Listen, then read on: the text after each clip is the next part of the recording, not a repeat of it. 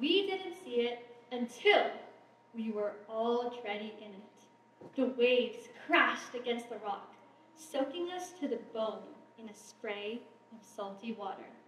This was an adventure. My parents and I were at the beach, and I was so excited to explore all the new rocks that were accessible as the sea retreated. There was one in particular, a huge boulder surrounded by shallow water around 100 feet or so into the ocean. And so I dared my dad to come with me and go touch it. He agreed, and so we rolled up our pants and emptied our pockets before setting out across the waves. I was so close to touching it, and so I took just one more step forward, and suddenly my stomach dropped as I fell right into a two foot deep hidden trench surrounding the rock. And I accidentally pulled my dad in with me as well. Oops.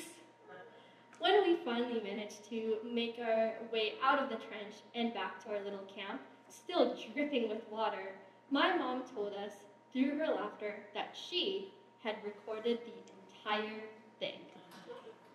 This is one of my favorite memories, and experiences like these are the reason why I love spending time in nature during summer vacations.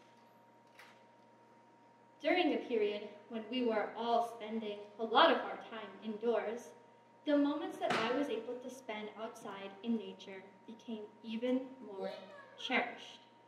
Stuck in my room during online classes, unable to communicate normally with my friends, the walls felt like they were closing in on me. It was suffocating. I was literally counting down the days until summer vacation when we would finally get to go camping and I could just soak up the great outdoors. But as school came to an end, even the smallest step outside to go check the mailbox became a huge challenge. The wildfires and the heat waves that had gripped our region were absolutely relentless. And before I knew it, the whole summer had passed me by without the opportunity to make memories with my family in nature. Even as September approached, wildfires struck again, but this time in Oregon, and my cousins were forced to evacuate their home and come stay with us. This, in particular, hit me hard because it was a reminder of the changing times that we live in today. I've known about climate change, I've learned about it through books and lectures and videos, but it had always felt kind of distant, like a sort of looming threat on the horizon that I could acknowledge, sure, but maybe not truly understand. But suddenly, it wasn't just some abstract concept anymore. It was right there, in front of me, staring me in the face, impacting my life and the lives of the people around me. And I felt pretty powerless in the face of all that change. Just thought. And that, that scared me. The climate crisis isn't a problem for the future. It's a problem for right now. It isn't just a statistic or a headline, it's a reality. We can't afford to ignore it any longer, just like we can't afford to ignore what's contributing to it. When I realized this, I decided to do some research to understand what's truly happening to the environment. And I found this really helpful pie chart of all the different factors that contribute to global warming. Most of them I recognized.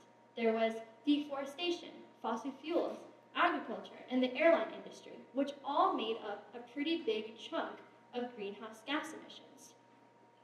But there was one thing in particular that really stuck out to me.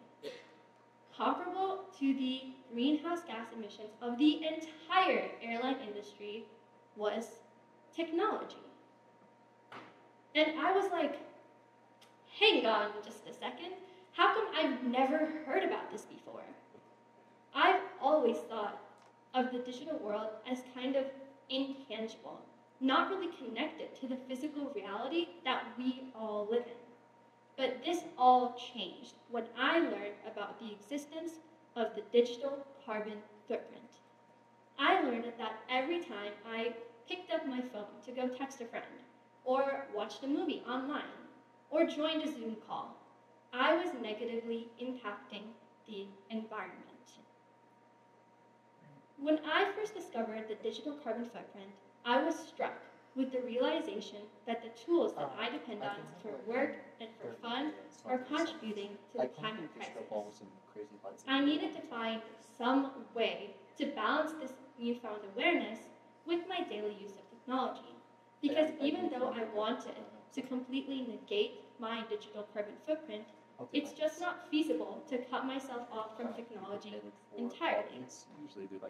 And so, I did what absolutely anybody would do when faced with such an existential crisis.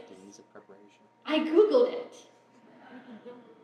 And therein lies the perfect example of my reliability on technology. Because I use Google for absolutely everything. No, no, we can't. Not without. From searching up the definition of a word to reading restaurant reviews, Google is my go-to search engine. Like I used to stuff. But while I was conducting my research, I happened upon an inconvenient truth. I learned that every Google search emits a small amount of CO2 greenhouse gas emissions into the atmosphere. I needed to find an alternative. There just had to be some option out there that allowed me to continue searching without increasing my digital carbon footprint. And that's when I stumbled upon Ecosia, spelled E C O S I A. Ecosia is a search engine with a difference. Yeah, no, I, I know. Yeah, I, I, Similar to its counterparts, Ecosia provides search functionality, but with a unique twist. All the ad revenue generated from searches goes towards planting trees. More specifically, one tree is planted for every 50 searches that a user conducts. At first, this kind of seemed a little too good to be true. So I dug a little bit deeper and I found that not only does Ecosia plant trees, but they also plant the right trees in the right places, creating and replenishing diverse forests and protecting endangered animal species. Not only this, but Ecosia is also rooted in community action, and they've helped communities that are fighting against wildfires, just like my cousin's. By using Ecosia for a little over two years now, I've already been able to plant more than 100 trees through my searches alone. Making the switch to Ecosia was a simple yet meaningful step towards mitigating my digital carbon footprint. All of my searches were now directly contributing to reforestation efforts across the globe. And the satisfaction of knowing that my actions have tangible consequences fuels my commitment to the cause. Recently, I witnessed a concrete example of the effect of collective action. In early 2024, Ecosia announced the impressive milestone of planting 200 million trees worldwide, or the equivalent of removing 5 million metric tons of carbon dioxide from the atmosphere. That's more than the annual energy consumption of the entire city of Seattle. It was incredible to hear about the power of our individual choices in the face of a global threat. The small shifts to our lifestyles can become a part of a larger movement towards sustainability. By embracing different kinds of green technology like Ecosia, we can implement just a few simple changes to our habits in order to minimize our digital carbon footprints while still being able to stay connected. So, the next time that you need to search something up, take just a couple of moments to set up Ecosia, spelled E C O S I A, as your primary search engine. Because together, we can make a difference. Your influence and my influence is what's needed to save our beautiful planet.